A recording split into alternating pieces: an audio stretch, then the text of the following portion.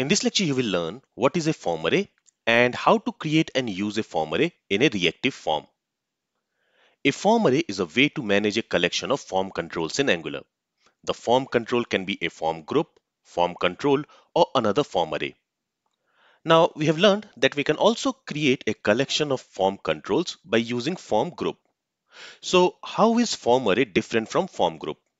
Let's try to understand that. So, in Angular, we can group form controls in two ways, either using form group or by using form array. Now, the difference between form group and form array is in the way they create the collection. Form group stores the form controls in the form of key value pair in an object. On the other hand, form array stores the form control as an element of an array. So it creates an array and in that array we will have form controls. Now a form control can be a form group, a form control or a form array. Let's understand form array with an example. So here we are creating a reactive form using this form group. And in this form group, we have form controls and we also have a form group. In the same way, in a form group, we can also have form array. So here I'm going to create a form array. For that, let's create a property. Let's call it maybe skills. And to this, we are going to assign an instance of form array. Now, in order to use this form array, we also need to import it from angular slash forms. Now, when we create a form group, there we pass an object, right? So here we are passing an object and here also when we are creating this address form group, there also we are passing an object. But when we create a form array, there instead of passing an object, we pass an array. And inside this array, we define our form controls. So for example, here I'm going to create a form control. For that, I can create an instance of form control. And initially, let's pass the default value as null. And it should be form control. All right. Now, somehow we need to bind this form control with a form element in the HTML. So in the HTML, I'm going to create an input element so before this submit button, let me go ahead and let me add a div. And in that div, I'm going to create an input element. And this input element, it is going to be of type text. Now on this div, I also want to use a CSS class. So I want to use this CSS class.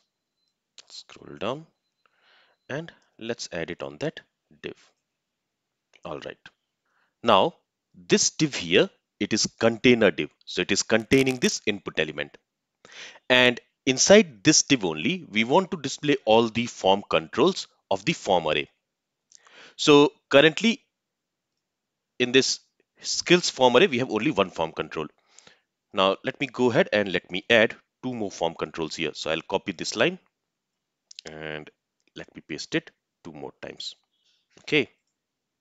So now we have three form controls inside this form array and we want to display all these three form controls inside this div. So this div is going to be the container div for all the form controls available inside the form array.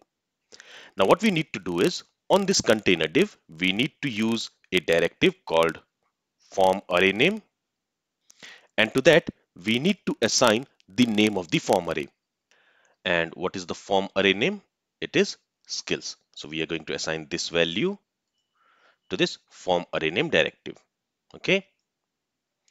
And now inside this form array, since we have three form controls, we need to create three form controls inside this container div.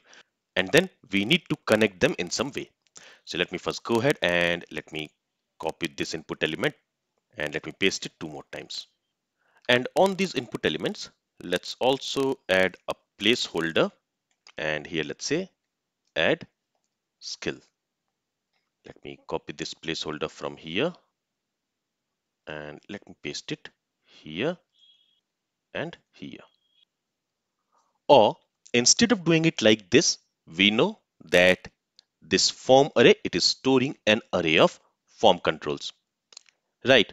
So we can loop over this array and for each form control, we can display this input element.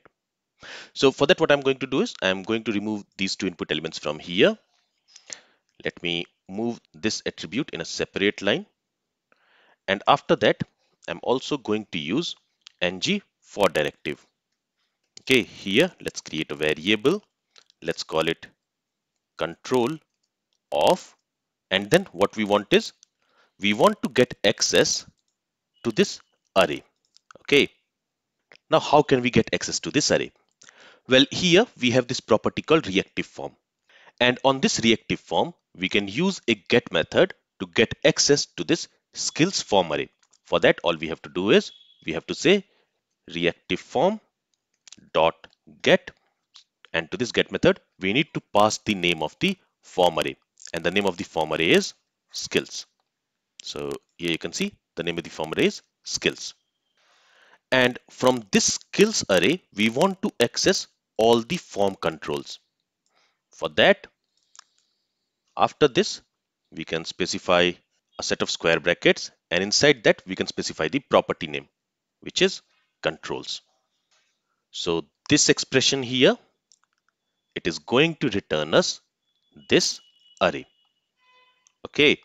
And on that array we are looping over using this ng for directive. And for each iteration that means for each form control inside this controls property this input element will be generated. So if you save the changes here and if you go to the web page you will notice that the three inputs element have been generated here which says add skill if I go back and if inside this array if I add one more form control like this then it should display four input elements as you can see. Now if I go to the elements tab here and let me move this a little bit down and let's expand this app root. Let's expand this section. In there we have the form. Let's scroll down. And here we have the skills form array if I expand this form array there we have all the input elements. Now you will notice that none of these input elements has the state. For example, if I scroll up and if I expand this input box, there you will notice that Angular has automatically added a state using this CSS class. So it has this ng untouched state, ng pristine state, ng valid state. But on these form controls, which we have created inside the form array, there, we do not see that CSS class. We do not see the state of these form controls. That's because currently these form controls here, so the form control which, be, which will be generated using this input element, it is not connected to these form controls. In order to connect them on this input element, we need to use form control name directive and to this we need to assign a name. Now these form controls are getting generated dynamically. So which name we should be providing here? Well, since we are creating these form controls inside a form array, for the form control name, we can specify the index of that element in the form array. Okay, so here when we are using this ng for directive, after that I will use a semicolon and there I will create a variable, I'll call it i equals index. And whatever value we will have inside this i variable that we want to use as the form control name. So here we are going to assign the value stored in this i variable to this form control name. So here i can say i. But here this i will be treated as a string value. So form control name will be i. But instead of specifying the form control name as i we want to assign this form control name with the value stored in this i variable so here we are going to do property binding like this. And with this, if I save the changes, if I go back to the web page, let's expand this app root again, this section again, and let's scroll down.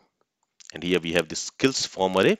Now you will notice that on each of the input elements, now the state has also been added. So this ng untouched, ng pristine, and ng valid CSS classes have been added and you can see that there is also an attribute called ng reflect name which is for the first input element is 0, for the second input element is 1, for the third input element it is 2, and for the fourth input element it is 3. Okay. So if I go ahead and if I touch this first input element here in the skills array, and if I click outside, you will notice that from the first input element, ng untouched has been removed and ng touched has been added. If I enter some value in that, you will notice that ng pristine has been removed and ng dirty has been added. Let's also go ahead and let's add some validation on these form controls. So let's go to VS Code and we know how to add validation on a form control. All we have to do is to this form control, we need to pass a validator. For that, we can use this validators. On that, we have a property called required. So we want to make these input fields as required fields. Let's do the same thing for other form controls. Let's save the changes. Let's go back to the web page. And now if I click inside this form control, inside this add skills, if I don't enter a valid value and if I click outside, you will notice that its border has changed to red. So the validation here is also working, as you can see. And if we look at the state of these form controls, you will notice that on these form controls, this ng invalid CSS class and ng touched CSS class has been added. So the state has also changed. So this is how you can create a form array. A form array is basically a collection of form control, form group or another form array. Now to create a form array, first we define it inside the code. Then we also create a container inside the HTML like we are doing here and inside that we create the form elements and we bind those form elements to a form control in the form array using form control name and we also bind the container element to the form array by using this form array name directive so if I go back to the web page and if we enter some value in the required fields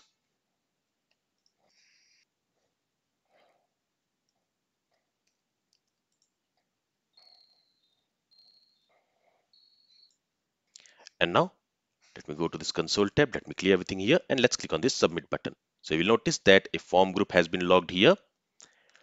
In there, we have controls property and in there you will see this address form group and you will also see this skills form array. If I expand this skills form array, there also we have this controls property and in there we have four form controls. Okay, and the name of the form control is 0123. So basically here we are using the index of the form control element. And also, if I go to the value property, so we should have a value property somewhere. Here we have the value property. There you will see that for all the form controls, we are reading its value. Then for the address form controls, we have the value inside this address object. And then we also have this skills array, as you can see. And inside this skills array, you can see the values like C Sharp, Angular, React, and SQL. So these values are coming from these four form controls. And the value entered in these four form controls is stored inside an array. Okay, so this is how we create and use a form array in a reactive form. In the next lecture, let's learn how we can generate a form control dynamically using form array.